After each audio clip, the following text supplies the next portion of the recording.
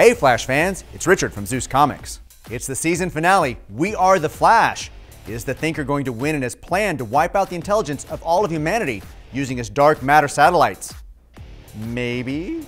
Which leads me to this week's Flashpoints. It's the 11th hour, and Iris pulls a rabbit out of her hat. And surprise, it's Marlize DeVoe. And Marlize's plan? Send Barry into Clifford's mind using Cecile's telepathy.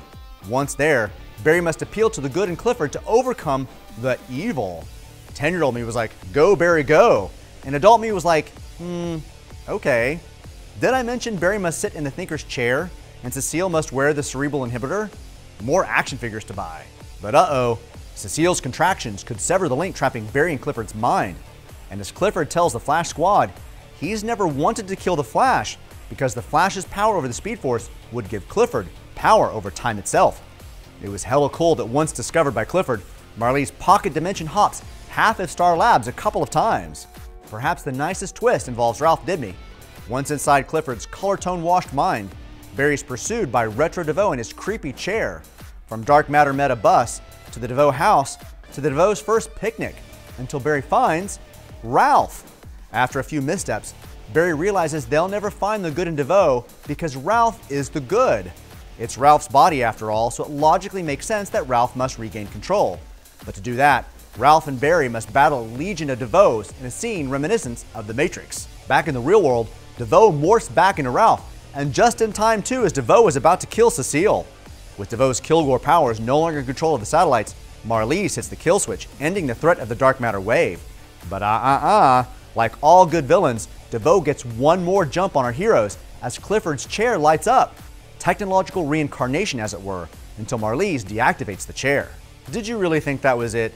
We still have one more mystery to reveal, and we get there via the last crashing satellite that will destroy Central City with dark matter.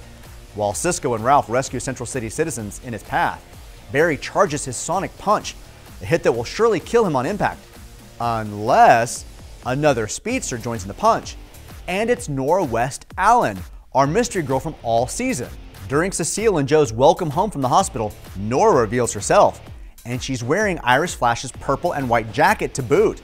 I had mentioned that in the comics, Barry and Iris had two twins, Don and Dawn, the Tornado Twins. But in this twist, their daughter is Nora, probably named after Barry's mom, Nora. And she warns us she's made a big mistake. We know the Flashes have a complicated history with time. Did Nora screw up the timeline? It's our season 4 cliffhanger. One final flashpoint. After having most of his intelligence restored by Marlize, Harry Wells says goodbye to the Flash Squad to return to Jesse on Earth 2. Either by death or by choice, a version of Harrison Wells exits the end of every season. I can't wait to see which Harry we get next in Season 5. What a wild race this season long with Flash and the Flash Squad. I'm still rooting for season long Rogues Gallery, so check back with me and CW33 for all the secrets and spoilers, including a deleted scene which hints at our villain, when Season 5 hits this fall.